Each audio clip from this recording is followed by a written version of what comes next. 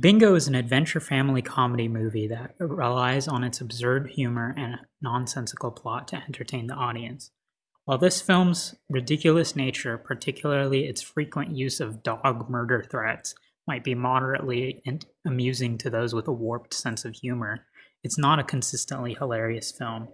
I like that the dog is literally omniscient and knows the square root of 9 in Morse code. That's pretty lit. While these moments might elicit a few chuckles, they're not enough to make Bingo a comedic masterpiece. I give it a rating of a 5.5 out of 10. This probably isn't worth a watch unless this description speaks to you. I don't regret seeing it personally. It's up on YouTube for free, so if you've got an hour and a half to burn, then go for it.